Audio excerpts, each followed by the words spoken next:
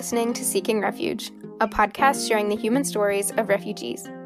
Our guest for this week is Jean Sicurella of the nonprofit organization Misión de Caridad.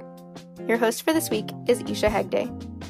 Hi, everyone. My name's Esha, and on this episode of Seeking Refuge, I had the privilege to speak to Jean Sicurella, one of the co founders of Misión de Caridad, an organization helping asylum seekers in border cities between the United States and Mexico.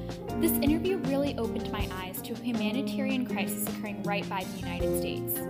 In season four, we're really focusing on the intersections, hence the name, of problems that refugees and asylum seekers face. And this episode in particular was really eye opening to the everyday situational issues, health issues, and settings that affect so many asylum seekers and refugees today. I hope you guys enjoy listening.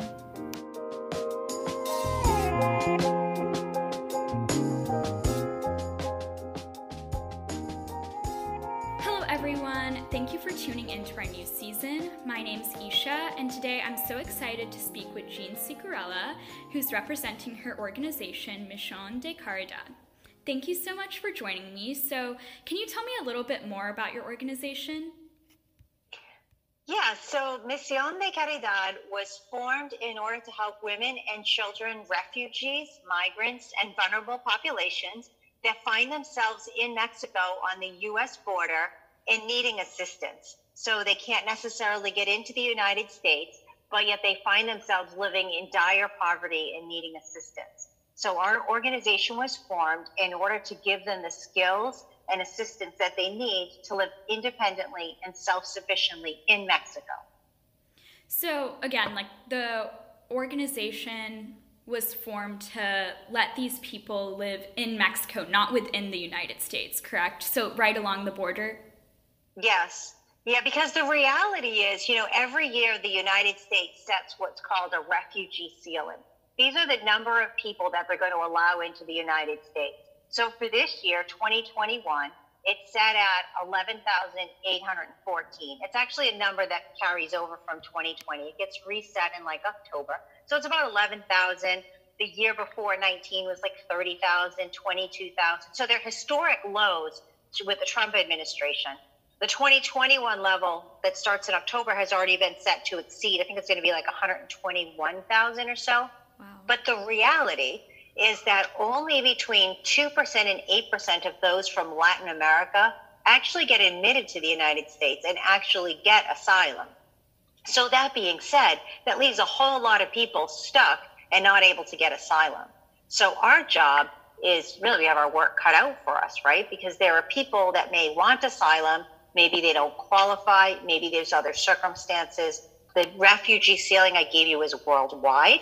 And so people need assistance. They imagine you fled your country. It was a horrible situation. You're fleeing violence and persecution and you come seeking refuge, but you can't get the refuge you need. And so mm-hmm. our job is to help them where they are, in this case on the border on the Mexico side.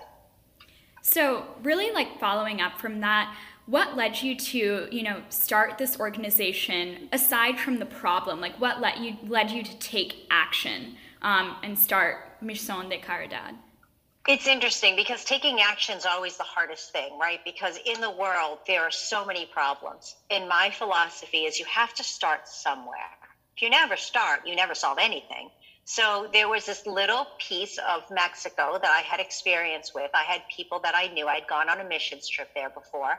I had kept contact with them.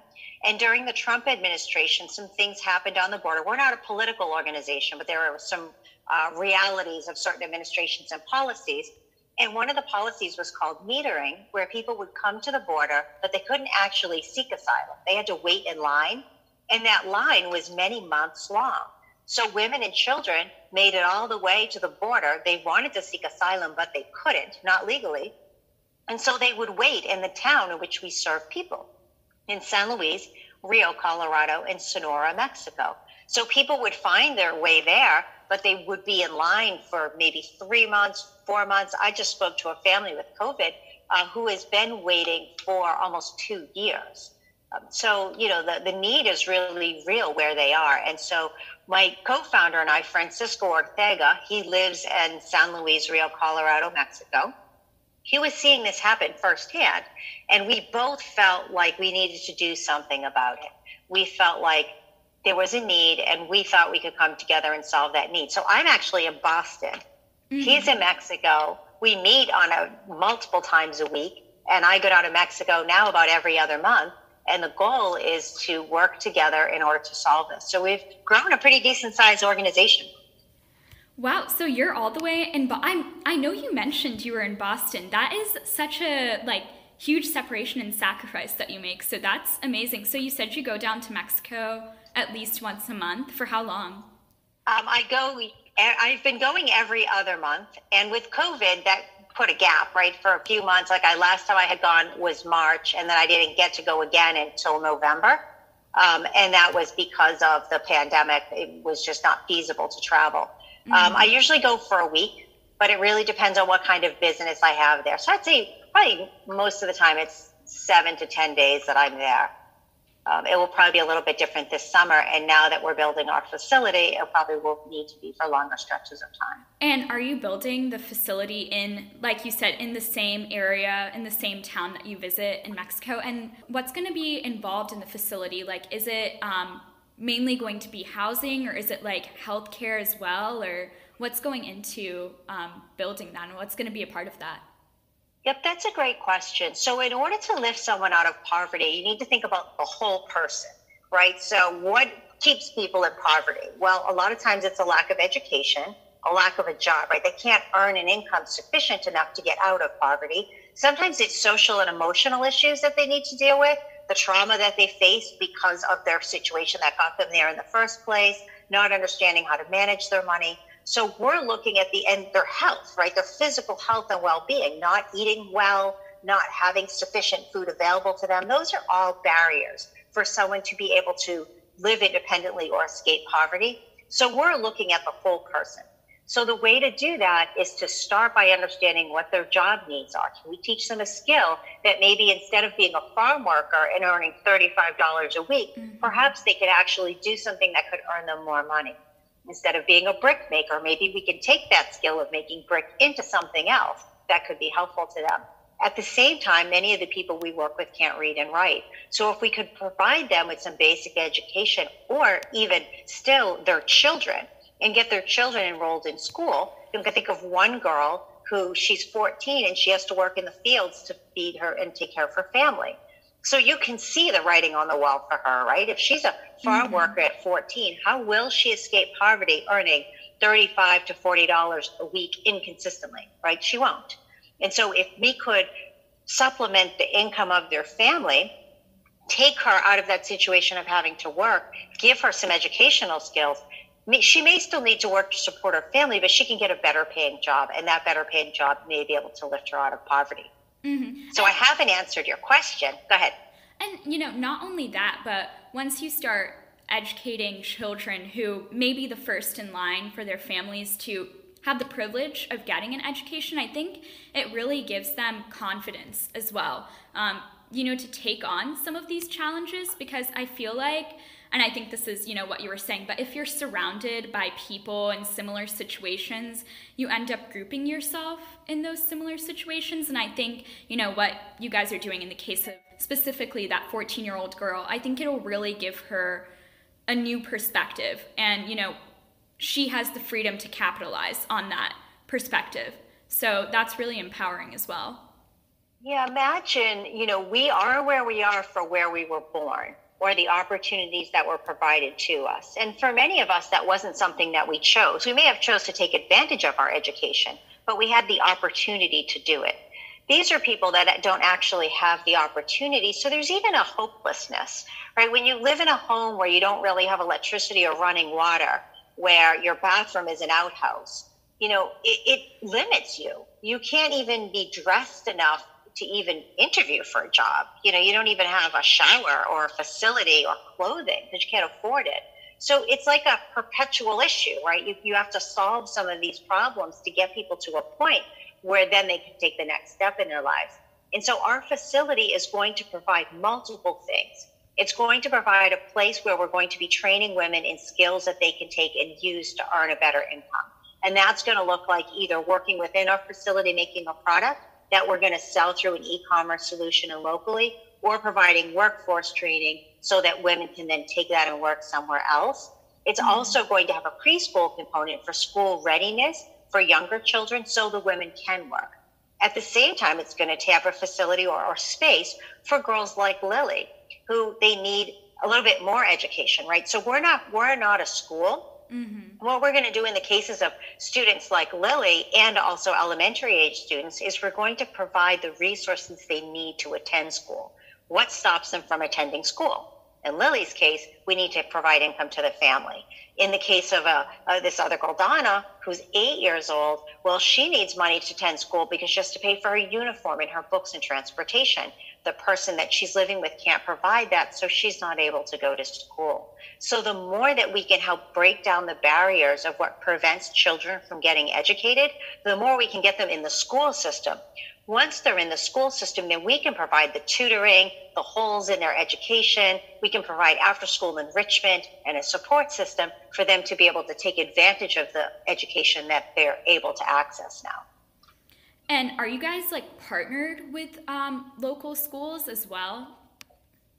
That is our plan. So because of COVID, you know, our facility is not built. So Friday we got word that finally our facility can transfer to us. Ooh, so that was amazing. I mean, I'm still in disbelief because that's been two years in waiting. Um, but what we've been doing is equally as important. We've been providing humanitarian aid to these communities. Mm-hmm. So we deliver healthy groceries to families in need there's no mistake in the need. People say, well, how do you pick them? Well, you drive into a community and you see people with outhouses and houses with no windows that are made of, of wood, you know, scrap wood. Mm-hmm. And there's no mistake in that you've gone into a community that needs your assistance. They're in pockets through the areas that we serve in Mexico. And so we deliver these healthy groceries. And while we're doing that, we're giving them two weeks worth of food. And we're talking like milk and fruits and vegetables and lean meats, things that really break the barrier of what we typically see with people delivering to people in poverty. Usually it's like rice, beans, canned goods. No, these are fresh vegetables that we all would love to eat. Because what we want to do is serve people with dignity. They should have the same fresh vegetables that we do. Mm-hmm. They shouldn't be relegated to canned foods just because no one can deliver it. So we deliver that those healthy groceries and necessities to them. Cleaning products, masks, clothing, blankets when it's cold. So we deliver these things to them. And while we're doing that, we're building trust in the community that we're serving. And so the good news of COVID in this case is that we've been had the last almost year to build trust. So people know who they are, they trust us. Now, as we're building the facility, not only will they have a vested interest in seeing it be built, but they're going to want to participate in it because they know us mm-hmm. and they feel like we have their best interest at heart. And, you know, when we were talking earlier and looking at your website as well, I feel like you guys serve or are focusing on serving mainly women and children. Those are the people that you encounter. What further difficulties do women and children face in these situations, or what are some obstacles that they're put against besides just, you know, education like we focused on? Yeah, well, the first thing with a woman that has a child is the need to care for her children. So that first and foremost limits her ability for employment. So frequently, what we see is women taking their children to work. So, mm-hmm. what that might look like is working in the street selling flowers or working cleaning. And while they're cleaning, their child is sitting there, mm-hmm. right? So, a lot of children have nothing to do while their mothers work or they're left alone. It is not infrequent that we'll go to deliver groceries and we'll find the kids alone in the home or or they're within the community so they're kind of wandering around. There's other adults around in other homes, but no one's really caring for them in the way that we might think of caring for a child and making sure that they're safe. Mm-hmm. These aren't the safest environments either. You know, extension cords can be strung from one house to another you know, there's there are a lot of environmental effects. There's stray dogs. There's glass in the street. You know, it, there's there's extreme heat in the summer. It can be 120 degrees, so we're talking heat stroke. So there's a lot of things that women face that might be unique for them. That if they had a man, well, at least there's two people. Um, so that's one. The other is they're they're uh, vulnerable to exploitation in a lot of different ways by their employer by somebody that might be targeting them and might target them with promises of something better, maybe passage to the US or someone that will care for them. And they can find themselves being um, sucked into, for lack of a better word, sex trafficking Mhm. because all of a sudden they just didn't realize what they were getting into. Um, so there's just a lot of ways that women are vulnerable. You know, imagine for a moment, and this is for our listeners too, imagine being in a situation where you really don't have anybody and somebody comes alongside you seeing that you're vulnerable. Maybe they've been watching you for a while and they realize that this person is vulnerable and they approach you and they act like they're your friend and they may seem like they are, but at the end of the day, they don't have your best interest at heart. Um, and you're desperate, you, you're grasping at straws, you're barely struggling yourself or surviving yourself. And so those that's why women and children, because they are the most vulnerable of everyone. And, you know, with these instances of, you know, sadly trafficking, do you mainly see younger girls? And by younger, I mean, you know, teenaged girls being um, sucked into these, you know, promises or lured into this dangerous trafficking industry? Or is it also equally women with children, you know, middle aged women? I can't say specifically, but I can tell you that it's, it's all over the map. You know, someone that's vulnerable does not discriminate on age. Um, I will tell you that many of the women we see, especially the refugees coming from other areas, are very young. You know, they may be, you know, 22 and they already have three or four children, 25 and they already have many children. So they are extremely young, younger than we might see in the United States, for example. And how are they traveling? Do you do you know how they are traveling to your location and how far they are coming from? So, is it locally in a radius from the area that you guys are working or is it, you know, from miles or hours away? People come from all over. So we met people from Cameroon on the border. And you might say, oh my gosh, how'd you get there? Yeah. Well, you know, when you're fleeing violence, when you're fleeing for your life, you look to escape to wherever you think you can find hope. And so for people, you know, when you need to fly into another country, that's a lot harder to do. You need visas and you need certain things to be able to travel. Well, to cross the border in Mexico, you can cross by foot. So if you can get yourself there, then there's a hope to present at the border. And so a lot of times people will come from very far, hundreds and hundreds, or in this case, thousands of miles away, and they make their way a lot of different ways. Many people walk. It takes them months to get there. Maybe they have enough to catch a bus some of the way. And the journey walking is not a safe one because a lot of them are targeted. They take the same roads. And so many times they have to pay a fee to walk on these roads because they're being mm. targeted by people that own public roads, right? Oh and so in that particular case, women can be extremely vulnerable. You see these large caravans coming, right? But a caravan doesn't necessarily mean that you're safe because you're traveling in a group of people, because oftentimes within those caravans are also people that are unsafe. So here you feel like you have safety, but you really don't. So some of the stories we hear when women arrive is that they have been abused and have been subject to some kind of abuse along the way, or they hide at night in the field and hopefully they can join back up with the caravan when the sun rises. You know, just things that they need to do in order to keep themselves safe.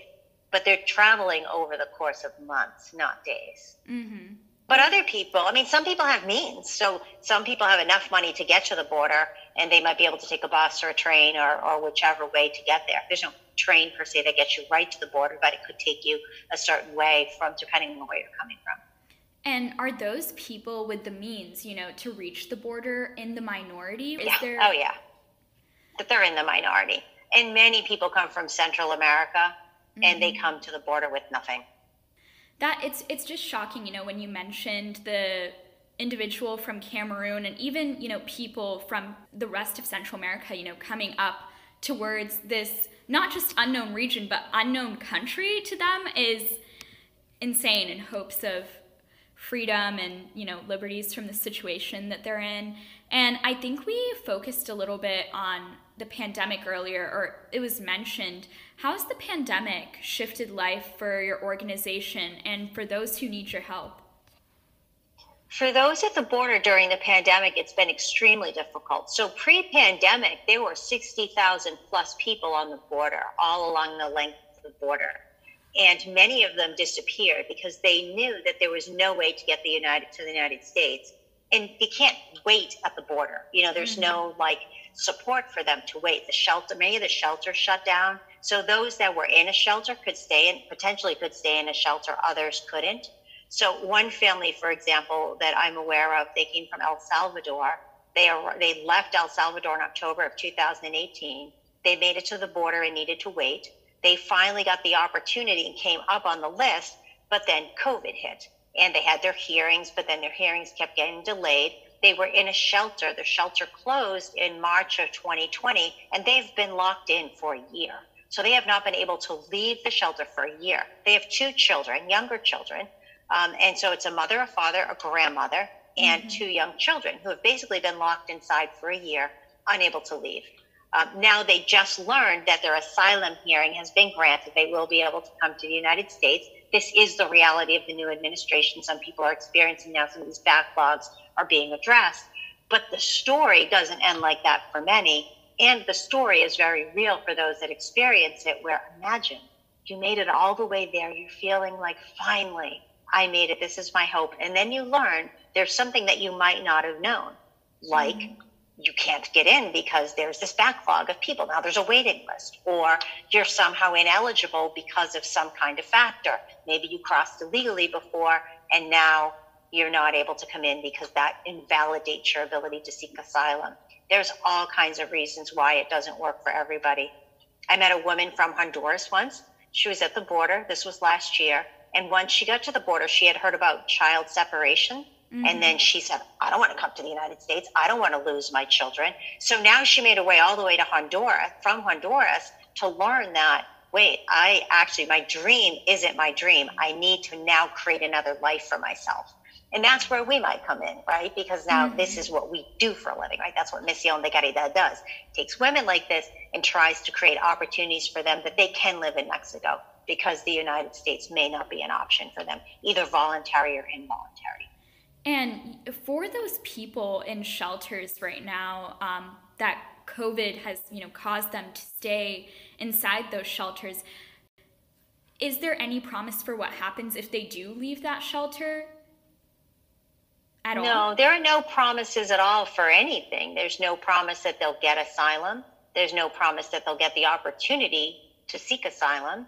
There's no promise that they can stay in the shelter.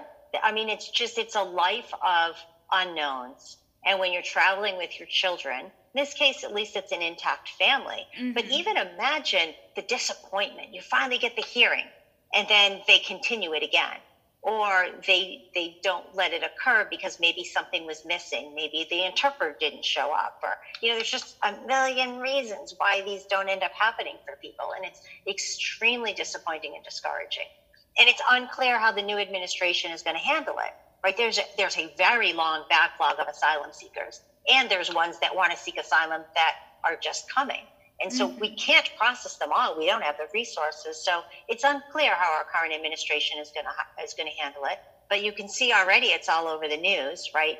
People that people don't want detention. Well, so what is the solution? You know, because if there's no detention, then they just come in. And I think that those are problems that we, as Misión de Caridad, don't have to solve.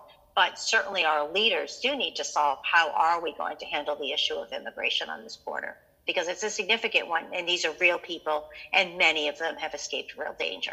Yeah, and besides I think you mentioned earlier that, you know, the woman from Honduras really had to reevaluate her entire separation because she learned that she could be separated from her child. What other instances are there where these asylum seekers, these refugees just have to turn around, you know, and realize that this isn't tangible for them. How often does that happen, and what are some other situations that cause these refugees to just have to turn around?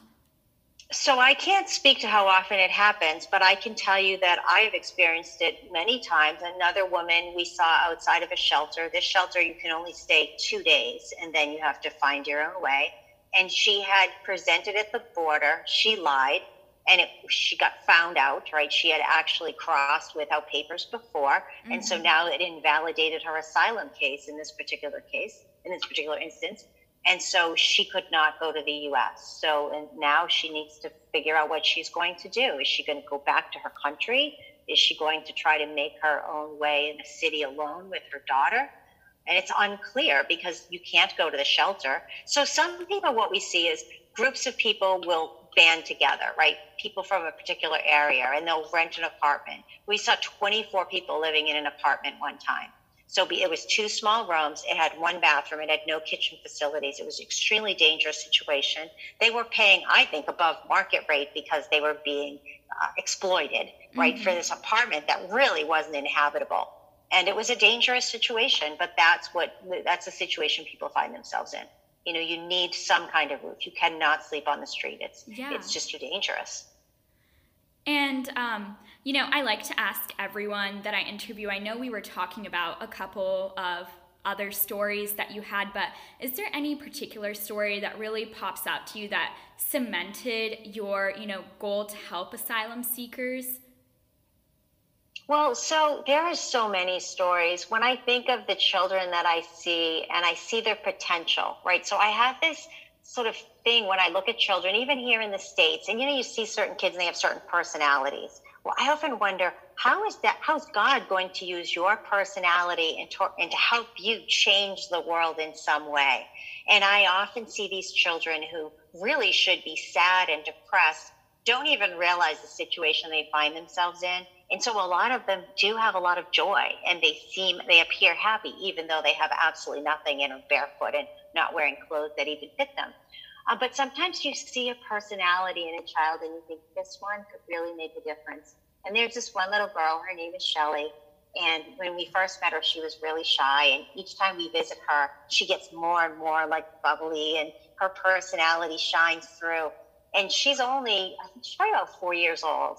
And she's the kind of girl, if given an opportunity at preschool, she probably will be one that could change the world with her personality. She probably could be a teacher, someone who cares about people, a lover of people, but she needs to be given an opportunity to do that. Same as this girl, Lily, who works in the fields. You know, if given an opportunity as an education, how might she change her entire community? Mm-hmm. Because frequently, people in a particular community care for one another. When one is in need, everyone tries to come around and help that particular need. We deliver food. People are often like, oh, well, there's someone who lives like around the corner, down the street, you know, in the next block. Can you go deliver there too? You know, they frequently want to distribute the things that we that we deliver to other people to help others. And so imagine if they are lifted up out of their situation, how that could lift an entire community out of their situation. So the stories go on and on, really we were just talking about the fact that, you know, when one person is in need in a community, the entire community tries to lift that individual up and help them. But how do people native to this area who are not trying to seek asylum, who are just, you know, maybe your average middle class individuals in these areas, how do these individuals view these asylum seekers and are they aware of the problems that are going on? Esha, that is a really excellent question. When you live in a border town and all of a sudden people just keep showing up in your town and you're already struggling, it's not even just middle class people, people who are even lower middle class or in poverty in these areas, they're not welcome. They don't necessarily open their arms and say, oh, great, come on in, right? They feel like, wait, there's not enough jobs for us. There's not enough food and resources mm-hmm. for us. And this is where we come in and where COVID, when you ask the question, well, how has COVID impacted your organization? It has somewhat stopped us in our tracks in the sense that we're not able to deliver programs on a large scale. But what it has helped us to do is build trust in the community by delivering food to the people that are there. And now, if we can help the people that are local or the migrants that are local, not necessarily local, meaning they live there, but they found themselves there, right? Mm-hmm. And they're mixing within the community. And if we can build those communities together, then they will be able to receive people, right? Because they'll be in a better place themselves. But when you have a whole community of poverty and then you try to bring more people into poverty, I think it's really difficult for those that are already there to feel like, oh, come on in, yeah. you know, because they're struggling themselves. And so, yes, it is something that we have to fight against. And one way we fight against it is the fact that they're already serving people in the community. When they look at our organization, they don't look at us as just helping foreigners, just helping refugees. But in fact, we help local people as well. And that is extremely important to our survival because if the local community embraces us and wants to help us, then we're able to help everybody else. if the local community doesn't want us there, then that makes it really difficult to be there. And imagine even here in the States, right? If mm-hmm. someone, if a community doesn't want you there, they throw all kind of barriers up, right? That's hard to get building permits, people vandalize your property, right? But when people want you there, well, everyone looks out for you. You know, all of a sudden people are looking out for people who are vandalizing your property. And that's a very real risk for us if we don't have community support. We could find our property vandalized, we could find ourselves at risk if we don't have the kind of support in the community that we're going into. And I know earlier we were mentioning the fact that these asylum seekers aren't just from um, Mexico or Central America, even. You mentioned that there was an asylum seeker all the way from Cameroon. How do these international people or people from vastly different cultures adjust to the life there in Mexico? Um, because that seems like there's not only a you know cultural cultural barrier, but a lang- like a literal language barrier. Um, so how are those people adjusting and to life in these border towns and just life as asylum seekers without even knowing the language potentially? Yeah, yeah, sure. That's an excellent question. And oftentimes when people come, they come in groups. So maybe only one or two come at first, but then others come. And I've seen the list of people that were waiting. And sometimes you see a huge list of people from Nigeria. Mm-hmm. So there's like hundreds of people waiting from Nigeria or Cameroon or areas in Africa that I even wasn't even familiar with. But one of the success stories was a group of people from, from Haiti. So when they, when many people fled from Haiti, they came to Mexico. So now we have a group of people who don't necessarily fit into the community. And over time they have. One of the ways is they prove to be a very hardworking community.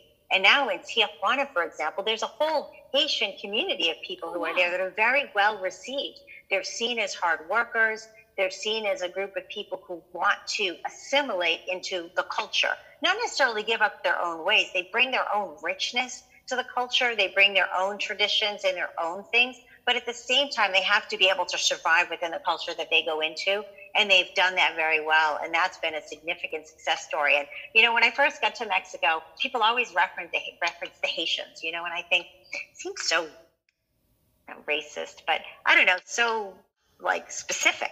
Yeah. but yet over and over no matter where i am along the border people mention haitians as a success story. And i think everybody along the border recognizes that this population has done really well and they recognize they couldn't go to the united states and doing very well where they were. And now this is a, a strong community.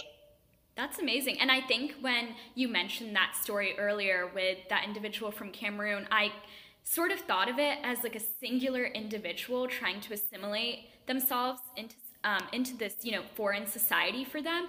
But it is comforting in a way to know that these people can find themselves in groups and like the Haitians can add to the culture of the area that they're in and bring their own unique flair. I think that's maybe just shows their fighting spirit and a lot of the fighting spirit that these people do have from the perspective of someone who is very separated from the situation as a whole. And um, what do you feel are some essentials needed for refugees and asylum seekers? You know, it can be literal objects or it can also be more figurative needs such as education, access to, you know, healthy food like we were talking about, what are some of the essentials that you see these people um, needing? Mm. Well, so the first thing I think it's just stability and safety, right? It's a place to be able to feel like they can survive safely. So just live, right? So it's it's housing and a place to reside in some way, shape, or form. Um, when refugees come, they often don't have anything. And so being able to provide something for them is extremely helpful. One of the things that's been important to us and why we are in Mexico and Boston simultaneously is that it's important to understand the culture where you are in order to be able to serve. Right? Because if I come in as a white woman from Boston, a very affluent area, very highly educated area, and then I try to um, go into an area of Mexico not understanding the culture the way that I should, I could make a lot of mistakes. I could make a lot of assumptions. I could provide my own values and my own view into a culture. And so I really value the fact that we have a team in Mexico that understands the culture, that is on the ground, and that knows how to implement the things we need to implement. So, that being said, one of the things that's really important to our organization is to provide necessities. So, frequently you'll see organizations like at Christmas time come in and they bring toys and gifts. And, you know, when I look at how people live, that's not necessarily a gift to them. Mm-hmm. What really would do better is a pair of shoes. And kids are so grateful to even get a new pair of pants. For, for to us, that feels like that's you know, not a gift to them, that's like they've probably never had something new, certainly no time recently. And so to get a new jacket or a new pair of shoes or a pair of socks or ponytail holders, right? Or a little pen light so they can have light in the darkness are all things that are gifts to them well over a truck or something else. Um, we are looking, actually noticing now that so many kids don't have shoes, really hoping that we can bring a truckload of shoes over. I also noticed that they don't have any balls. Like, I really want to deliver soccer balls. I feel like, you know, that sounds frivolous, right? Not a necessity, but exercise is a necessity. A lot of kids aren't moving around. Obesity, they have Mexico has the highest level of child and adult child and adult obesity in the world. So a ball would allow a child to move and kick and run around. And so I really feel like that could be something for kids to get exercise. I was also thinking like wiffle balls and baseballs, you know, things that they can move because you have to run to get the ball, mm-hmm. you know, mm-hmm. so things that don't take up a lot of space that can work because they have tons of space. There are a lot of people live in the country mm-hmm. or a little bit outside of the city.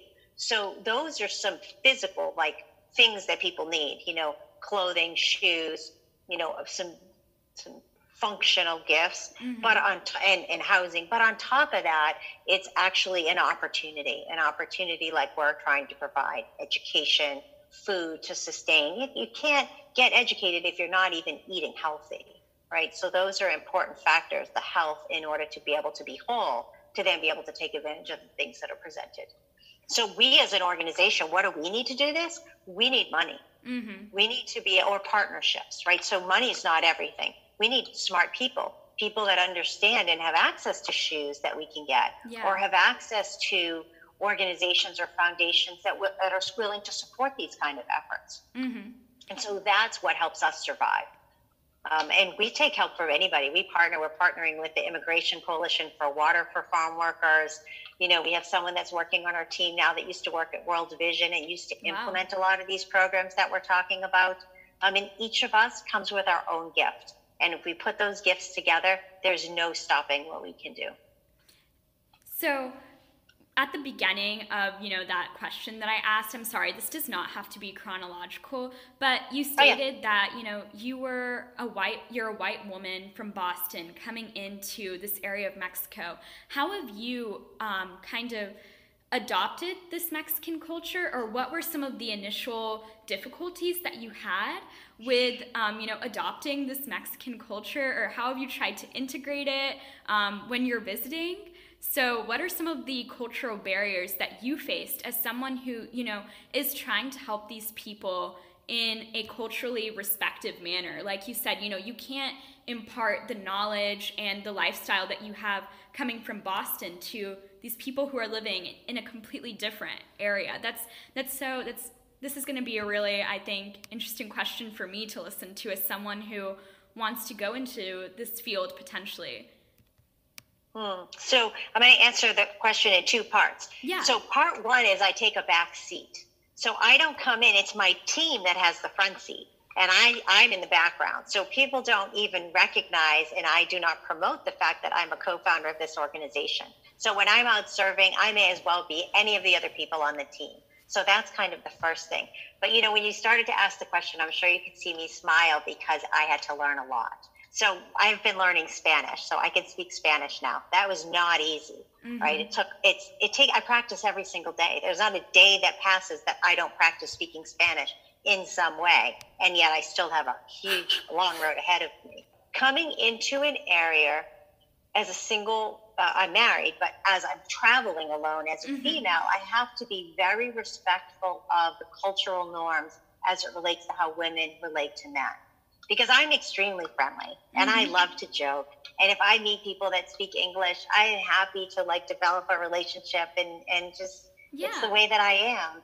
And I have to be really mindful of that when I'm dealing with maybe men, for example, in that culture, that my overly friendliness could be misconstrued for something else. Oh, and so, oh, okay. in some respects, I have to be maybe a little bit reserved and a little bit more cautious while I get to know people and they get to know me, mm-hmm. right? Because people are suspicious of me potentially, especially at first. Well, what? Why is she here? Mm-hmm. What does she have to gain from this? And what they don't realize and what they know now, but they didn't know then, is that I have no motivation. My motivation of doing this is love and care for another. It's believing that I have privilege just by where I'm born, and mm-hmm. it's my job to actually do something about it. And so I feel like in that case that I'm responsible to um, to do what little part that I can in order to make a difference. So, again, these do not have to be chronological, but I have a question in here. So, uh, I can change it a bit if you don't mind. So, mm-hmm. how do you think this experience of being an asylum seeker, being a refugee, impacts you know, individuals born into this situation. So people who know nothing else besides this, you know, struggle of being an asylum seeker. Do you see a lot of individuals like that who are just, you know, born into this cycle of being an asylum seeker, being a refugee? I think we focused on this a bit at the beginning. Yeah, I'm going to define a couple of terms because I think that might be helpful. Mm-hmm. So, a migrant is someone who moves from one place to another, especially in order to v- provide work or a better living condition, right? So, a migrant is someone who's not necessarily escaping violence, but they could be escaping horrific situations of like poverty. Mm-hmm. There's certain areas in Mexico where the average uh, education is fourth grade. So, you know, they're escaping an area that's extremely poor.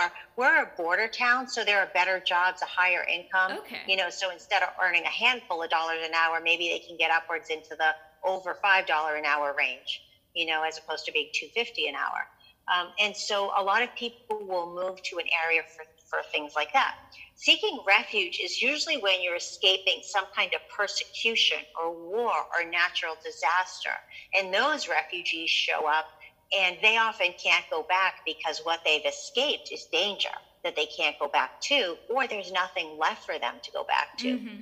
Both of those populations have a very similar story as far as what they experience once they get there. Maybe what they came from looks a little different, but once they arrive where they've arrived, they have a similar story on the journey it took to get there and also what they have, which is virtually nothing. Mm-hmm. And so these children, it depends on their situation and what they came from. Some came from highly educated. So some kids were in school and they were schooled through eighth grade or ninth grade or even in high school, right?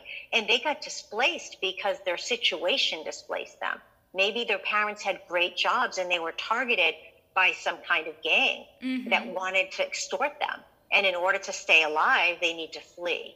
And so those refugees are very, very different than a refugee that maybe left from a different area where they had a very low education. And so it it's all depends on where they came from, and it's very different. You know, I was at the border one time, and I was talking to girls who had they were high school graduates, and actually some college education. And they were waiting and hoping to seek asylum in the US because they have fled. Mm-hmm. Um, and so that's a very different situation. And for us, working with someone like that that already has a good foundation is extremely helpful in lifting up other people in the community. Because now perhaps they will stay in Mexico and they can use yeah. what they already know with some augmentation to be able to help some other people. And would you say those individuals are in the minority? Those who it is un- an unfortunate situation for them, but it's extremely, um, you know, as again, someone who's separated from the situation, hearing that a lot of these people never had any other option, never, you know, had an education past. Even the eighth grade is extremely emotionally upsetting and off like eye-opening to me because I feel like a lot of the people that I'm around and even myself, you know, I may view someone in this situation around my age and I may measure them up to my standards. I may be like oh like they've been through high school. They're in co-, and it's it's wild to me that they may never even have finished middle school which is an extremely different standard from my from my own. And you know coming to that conclusion how do you think people like myself and many of the listeners of the podcast who are separated from this situation at the border who may not even have a clear idea about what's going on at the border right now help those living through it every single day? So the first is compassion until you've walked in the shoes of another, it's hard to understand their situation. And there are times on my site, I'll see people post things like, don't let them in, or um, just things that what mother would send their child across the border alone, or what, what mother would bring their child to the border, right? And it would, would risk hundreds of miles of a journey. And my response is a mother in desperation, a mother that has nowhere else to turn and for us to judge why she made that decision says that we don't understand the situation. Yeah. People's personal situations are complex. And for a mother to give up their child is probably one of the most sacrificial things a mother could do. And to watch her child in pain or to see the lack of opportunity for her child, one doesn't know what the mother or the family experienced themselves and what they're hoping that they can get for their child. Mm-hmm. And keep in mind, there's lots of misinformation out there. I mean, I am sure that people just, some people just feel like, hey, if I could just get to America, right, I can get the American dream. And they don't realize that when they get here, their situation can be just as difficult or not worse because they had a perception of something that isn't reality. Um, so I think for a lot of people, it's not understanding the true picture of everything that's out there those that don't understand the situation. So part of it is first putting on compassion and saying and understanding the privilege. If we're all listening to this podcast, we have privilege, right? We were probably born in, born into a situation or were given opportunities to get out of the situation we were born into, right? Many of us have experienced our own horrible things. That's mm-hmm. what probably causes us to be a little bit more compassionate. But we had a way to escape. And many of us can probably remember that person in our lives that gave us that opportunity or that said that one thing to us that helped us get over whatever hurdle it was. And what we want to do is help people to understand that that's what these people need. They need someone to extend a hand, extend an olive branch, extend an opportunity to help them succeed as well. So that these people, these children, these adults can actually escape poverty. Because when you live a life where you have no electricity or electricity coming from an extension cord and no running water in your home so that you're cooking outside and you're going to the bathroom outside, it is really hard to escape from that if there is no opportunity presented to you to escape. You cannot do it on your own accord you cannot do it earning $32 a week. It's yeah. just, that's not even enough to support your family. So even just emotionally, the emotional baggage that comes from being in that situation can prevent you from even trying to get ahead. So again, to go back to your question, what can people do here? What can we do in the States? What can we do where we're so far away? We can always do something. We can give up a meal a week going out and donate it to an organization we can go on Instagram or Facebook or LinkedIn or other social media and we can comment and show empathy or compassion for the people that are there. Because the more people comment on posts, the more it escalates the post and the more that others are aware of the work that that nonprofit is doing. Mm-hmm. So those are all really helpful things, but you don't even have to leave your seat, mm-hmm. right? When we purchase something, maybe we could think, wow, that could be something a refugee can use. And even if I send 10 ponytail holders to the border, that's 10 more than what they have. I don't yeah. need to send 20,000 to make a difference. Yeah. And also, you were speaking about, you know, misinformation that these refugees may have or reality that they face when they come to America or on the chance that they, you know, get the asylum that they that they are seeking. But what about the misinformation that you see a lot of people here in America project onto these individuals. How can we, as people living in America, you know, consume media in a responsible manner?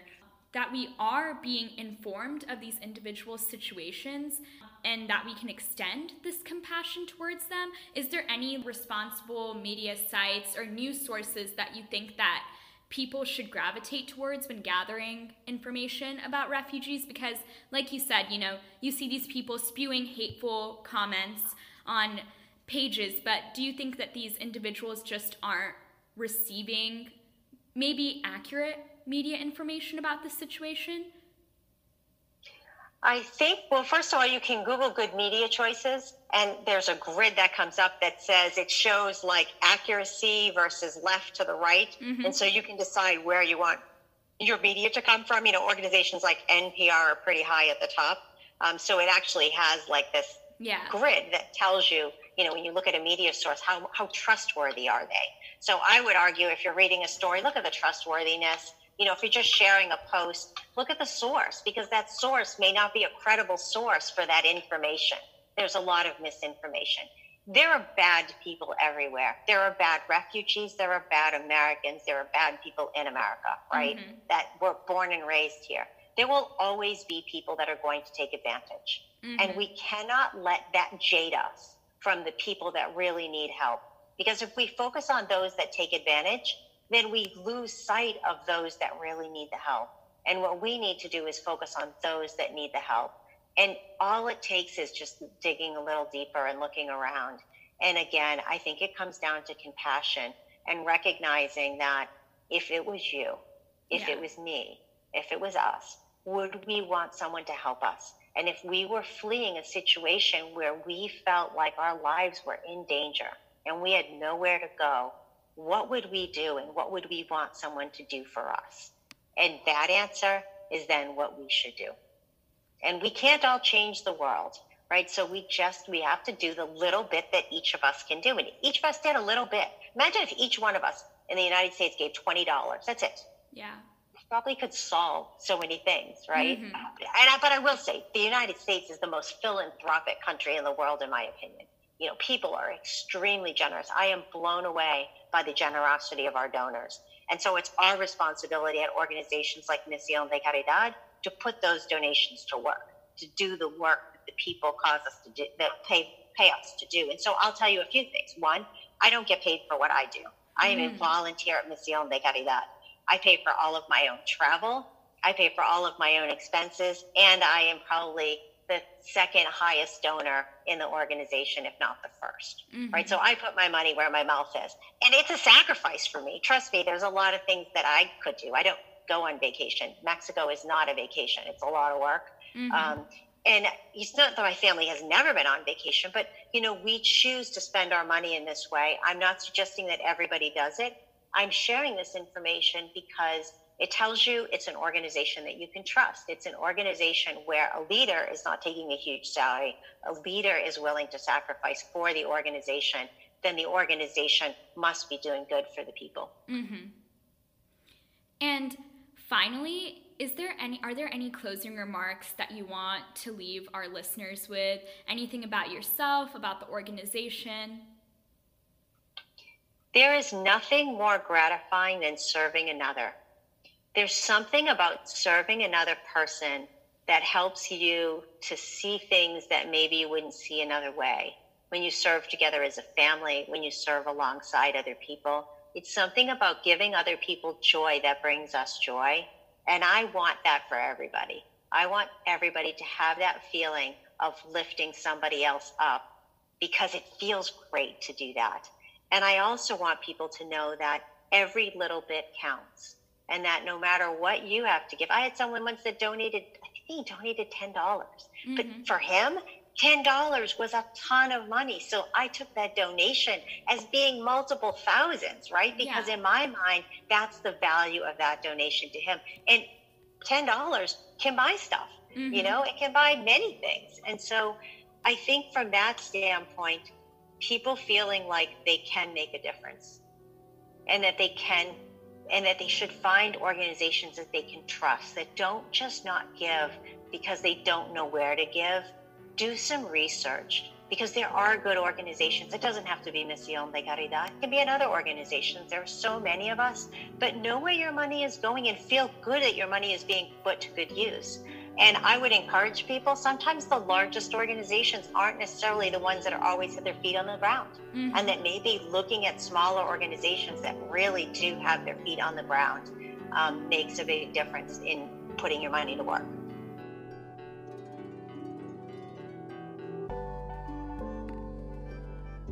After speaking with Jean and learning about Misión de Caridad, I really had two large realizations. One, that on a personal level, I was really dedicated to learning more and helping in any way that I could with the asylum and refugee crisis occurring not just in our country, but throughout the world.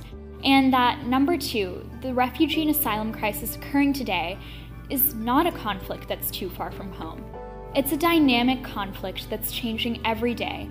And as cheesy as it sounds, I think it's our job to make sure that the change is for the better that was Esha Hegde talking with Jean Sicurella of Misión de Caridad.